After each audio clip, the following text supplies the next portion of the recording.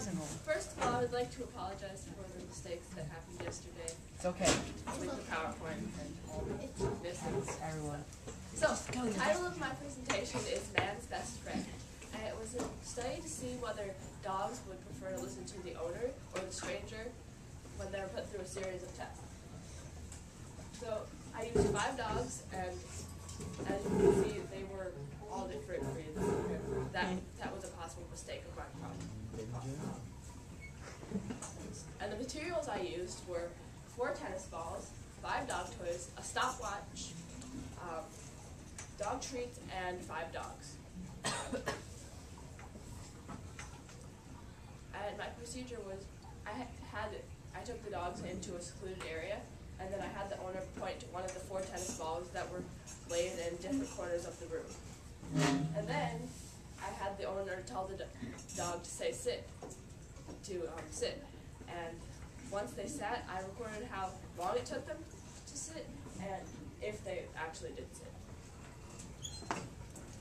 And then I placed one treat under two identical bowls and then had the owner point to one of the bowls. I used that to see if the dog would would um, choose the, the bowl with it, even though they could obviously smell that there were two treats in each. I mean, there was a treat in each bowl. And then I had the owner show the dog one of the toys. And then I put the toy back with the game with the other toys and I let the dog go and see if the dog would choose the toy that the owner had introduced it to or if the dog would choose the toy that or choose one of the toys that the owner had not introduced to.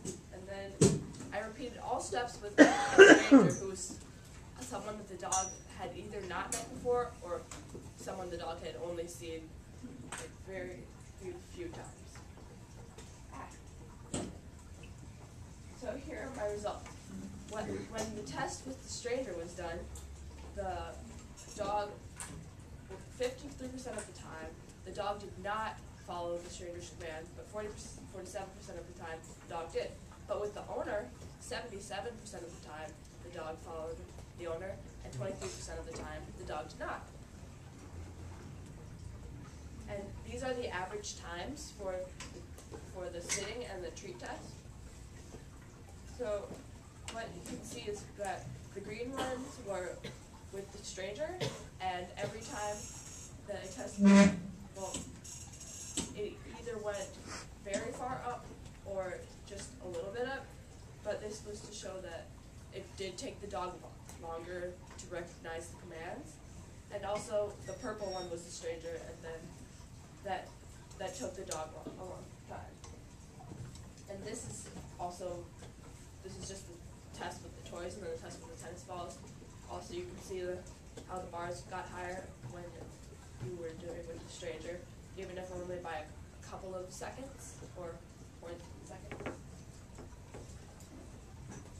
And this is just showing what percentage the dog got correct. So this is all the trials overall, owner and stranger, and it just kind of shows you, like for the sitting test, ninety percent of the time, um, captain got got it right. Captain. Captain was one of. And and here are some possible problems. When doing the toy test, the dogs were not always at the same distance, so I could fix that by marking a spot on the floor where the dog would have to sit before they re- retrieve the toy. And then also before the dog, as I mentioned before, the dogs were all different ages and breeds and also sizes, so this could have affected my results.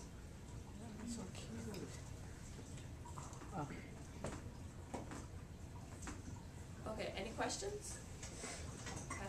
Patrick? How many dogs do you own? Um, two. Okay. Uh, Jacob? Did you use the same stranger every time? Um, no, because one of the dogs had already met the stranger, and so I couldn't.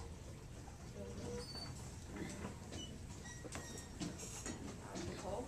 Were the dogs previously trained? Um, most of the dogs already knew how to sit. Well, I think all the dogs already knew how to sit because their owner had taught them to, and then oh. You didn't finish. Gabby. Oh no no no. Oh. Sorry. You guys can talk about it. Did you finish your, that last last one? Yes. Okay, that's it. See, see if I can see it, please.